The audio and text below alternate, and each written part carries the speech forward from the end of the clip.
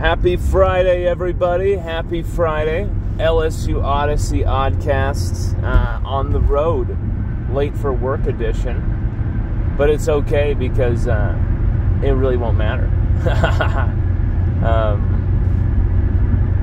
switching situations at work. So yeah, that's uh, that's a very good thing for us. So um, I wanted to say, you know, with this Arkansas game coming up, LSU going to Fayetteville, trying to not have any type of hangover or any type of trap game or any of that type of you know hyperbole talk.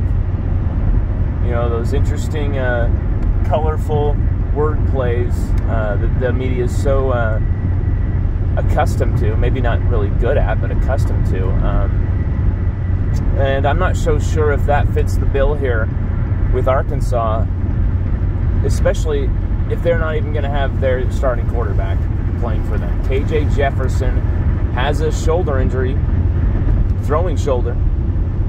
And uh, this happened before the Liberty game, but supposedly there's there's some controversy, some drama in uh, Hogs Nation over Sam Pittman playing Jefferson against uh, against Liberty anyway while hurt, and uh, they're wondering if now that's maybe exacerbated the injury and potentially will force KJ Jefferson to the sidelines for this really uh, ultimate game against LSU. You know, Arkansas's season has not panned out the way even like a quarter, 10% of what, you know, analysts were saying was going to be for them this season.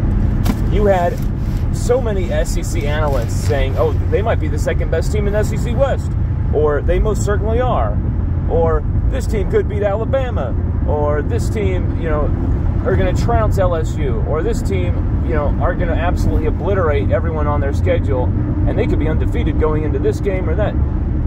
And no one really bothered to actually look at the logistics and details of that ridiculous schedule they signed up to play. And so, you know, Arkansas have been through hell. This team.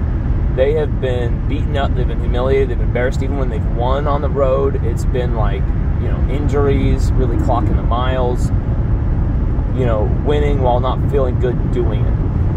And so this Arkansas team has been, you know, much like every single Arkansas team in the last, you know, a couple of years. Supremely hyped going into the season.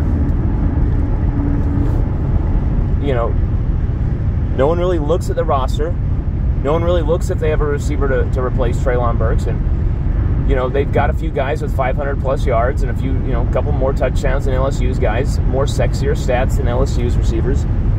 But can Jadon Haselwood really adequately replace the explosive playmaking of a guy like Treylon Burks? Not so sure. The guy who really worries me for LSU, though, this passing game doesn't worry me, especially if KJ Jefferson's throwing shoulder is giving him fits. Although, you know, this guy's a warrior. He's a big athletic dude. He could potentially battle through the pain to to do yet another start for, for have yet another start for Arkansas. But against this defensive line, that's a far more difficult task than against Liberty. I'm just gonna just put it like that. Um, and KJ Jefferson's had some success against LSU the last two years, even though they've been some pretty knockdown, drag out games. But um, for me, uh, the real danger here is their running back. And I'm not sure if I'm saying his name right, but Raheim Sanders. Raheim Sanders. Am I saying it right? I'm not sure if I'm saying it right, but Sanders, their running back. I said it on our preseason uh, preview of this game when we actually predicted an LSU defeat to Arkansas um, preseason. Uh, we said that Raheim Sanders would be unbelievable for Arkansas, and he would prove the difference, and he would uh, beat LSU down basically, and LSU would have their second, uh, you know, actually no third straight loss to Arkansas, right?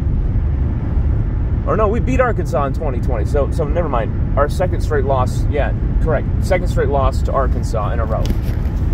Um, but uh, you know now coming close to the game, you're thinking LSU's running defense is a lot better than we expected they might be.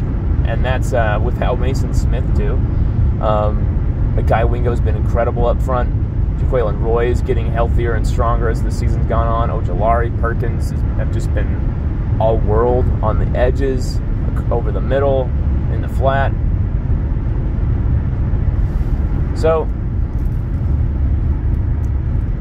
I think what we got here is going to be potentially a, a, brutal game, knockout, drag out game for, for LSU. Early in the morning, I don't expect this to be easy for the Tigers. I don't expect this to be, you know, a blowout win. But shouldn't the L, shouldn't LSU beat this Arkansas team on paper anyway? Shouldn't this LSU team beat Arkansas after what they just accomplished? Shouldn't this LSU team outmatch Arkansas, especially when you look at Arkansas's secondary? Just go, just throw it away from Dwight McGlothern. Don't even test him because you don't even have to. You can just throw it to the other, throw it at the other guys. Um, you know, their nickel has been absolutely savaged in coverage this season. His name escapes me, but their nickel coverage has been a disaster. That's where LSU can really roast them look for maybe Boutte to have a huge game. And, uh, you know, hopefully you get guys like Jack Bech involved, put them in the slot. He can really roast them. You can even put Mason Taylor in the slot. Um, really get creative. Really just, okay, you can't guard anybody there. We'll just keep taking advantage of it. Um, there's, there's a lot of reunions in this game that are coming up. But we've got a preview article coming up for this game today and we wanted to give you just a, a, little teaser of some of our thoughts. Key guy to watch out for Raheim Sanders, uh, if I'm saying his name right. Um, you know, Jadon Haselwood has been pretty dynamic in the receiving game, but not as explosive as he could be or as Treylon Burks has. Um, and really, watch out for KJ Jefferson's health. Is this the veteran starting quarterback going to even be available for Arkansas? I don't expect Pittman to give us an answer for that until like maybe half hour before game time we find out or something. Like, I mean, if he's going to play this right, um, you know, even if KJ Jefferson is fine, you really just you want to waste some of LSU's preparation time here.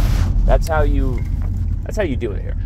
And I don't I don't know if Arkansas really can do that here because I think LSU's game plan isn't really going to fluctuate no matter who is there, no matter who is in the backfield. LSU are coming out there to attack the quarterback, and they've got the depth to throw at Arkansas to to relentlessly do that. And I expect LSU to kind of stick with that game plan and um, dare Arkansas to pass. But like I said, we'll be having a preview article coming out today. Definitely check out our Ryan Yates piece check out some of our interviews. We got a, a really interesting interview with Mekhi Wingo on there. Uh, LSU Tiger checking in with us mid season. Definitely check that out. Everyone have a happy Friday. LSUOdyssey.com, baby. Peace.